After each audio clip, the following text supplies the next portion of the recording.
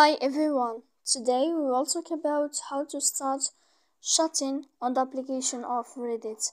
To know how to start chatting on the application of uh, Reddit, you should just go to the app of Reddit as you see and you click. After that in this page, you will go to click in this sign of chat.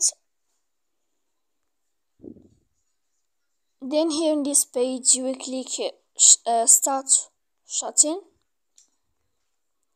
and here you can click to search and you sorry you can search for people by username to chat with them here.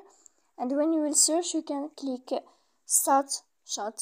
So please don't forget to support us by like and uh, subscribe.